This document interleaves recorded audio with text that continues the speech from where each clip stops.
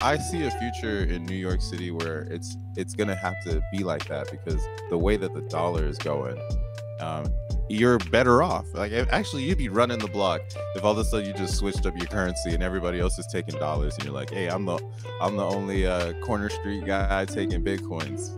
Yeah. For any corner street guys out there. now, that's one thing I really appreciate appreciate about you. You know, you're very open about living in New York, and the regulation there is pretty tight, pretty crazy. It's it's yeah, hard to participate in crypto when you're in a state like that. So, what what is yeah, that like living that in that environment?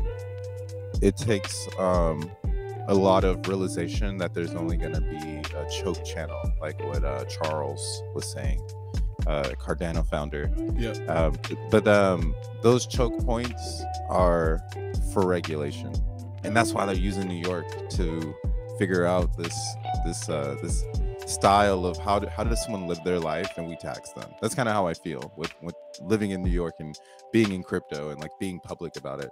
It's basically me um not i always say like uh it, there's always people in the blockchain that are going to forever wear a ski mask but crypto is becoming clear net and you don't really need to continuously think like everything you do should be ski mask activity.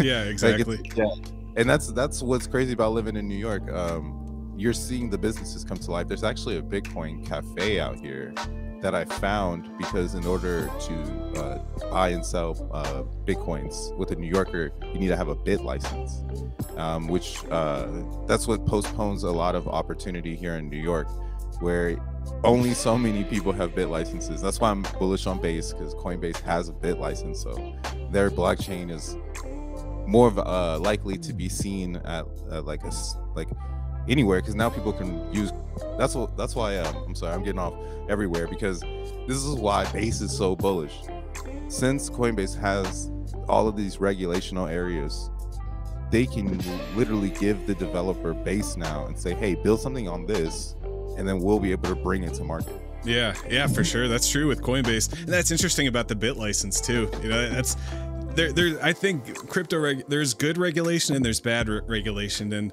yeah. in a way, like the the the BitLicense does enable businesses to transact in crypto, but it's it's almost too overreaching and too overarching. You know, it's it's it's prohibitive. Yeah. It, it's tough to to start a crypto business. Yeah, it, it, really it's tough. You know, especially in New York. Yeah, in that crypto prohibition uh, phase. Now, do crazy. you? Obviously, uh, I, do you think it's because of Wall Street? Obviously, New York is so hard. They want to, the banks want to drive crypto out of New York.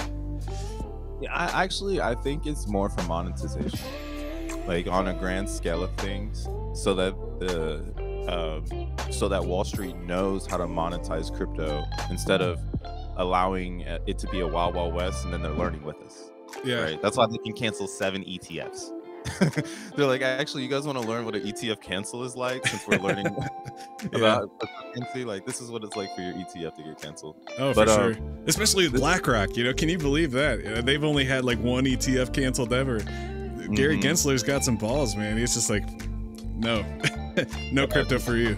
Not until 2026, Gary said. Yep. South out in 26. But like, um, uh, going back to the BitLicense thing it's actually good for a business because uh, I found this Bitcoin cafe because I go and I check it and I like update myself on like, is there any new businesses? It also is a way for me to see um, what uh, or who out there is really trying to play the game.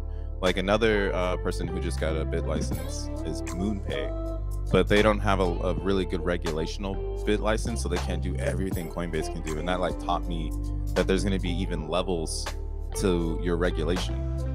sure. Yeah, and and that's that's how you build business, though. Um, I once upon a time ago worked in a small business, uh, in a streetwear boutique in San Francisco when I was in college. Literally, it was like me, the owner, and two other people. So I learned a lot about like trying to expand or trying to grow, um, and it's really hard when you have all these regulations. Yeah, you got to do it the right way. You exactly. Go, yeah, you can't just go and just freestyle because you know you'll have you know the worst. Yeah, for sure. Funny story about MoonPay. I I, I kind of I like MoonPay and the idea of MoonPay. I like that they're a U.S. company, and I was using them regularly, and I, I would participate. I, am a big Cardano fan. I love Cardano. I love the CNFTs. I have hundreds of Cardano NFTs, and uh, that that was my on ramp was MoonPay. So I'd buy some Cardano with MoonPay, have it sent to my Ada wallet. One day I went to log in, and they're like, "Your account's blocked."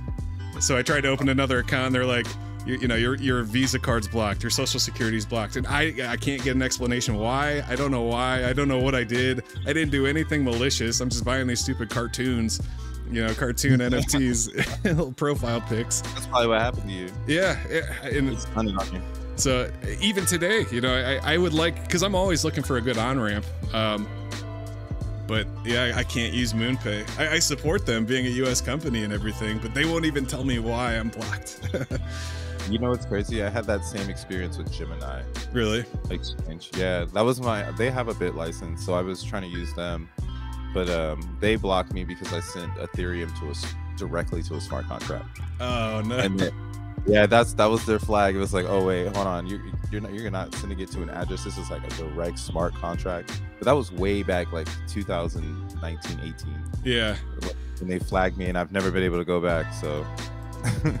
I'm pretty Coinbase. surprised to see the, this dip on uh, Bitcoin right now. We're, we're kind of coming down. We're under 26,000 now, 27 or 25 750. So I'm surprised people are selling on the announcement of the delays. So you know, they, they even though they did reject the ETFs, they're just delaying them 45 days. And yeah. Bitcoin holders said, "No, I want out."